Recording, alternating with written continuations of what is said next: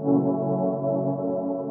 mein Name ist Axel von Red Race und bei dem heutigen Park Tool Workshop zeige ich euch, wie ihr den Gang oder das Ritzel hinten wechselt bei eurem Fixie.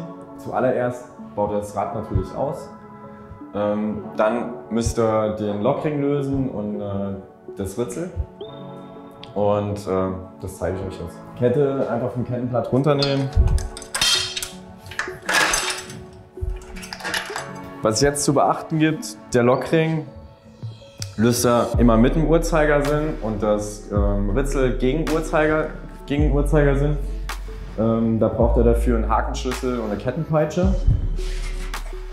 Dann einfach das neue Ritzel aufdrehen. Packt vorher ein bisschen Fett auf die Gewindegänge, weil wenn ihr ein Stahlritzel habt und das anfängt zu rosten, so, dann kann es euch passieren, dass es festsetzt. Ritzel aufdrehen mit dem Uhrzeigersinn, dann ein Lochring wieder drauf und das Ganze halt alles festziehen.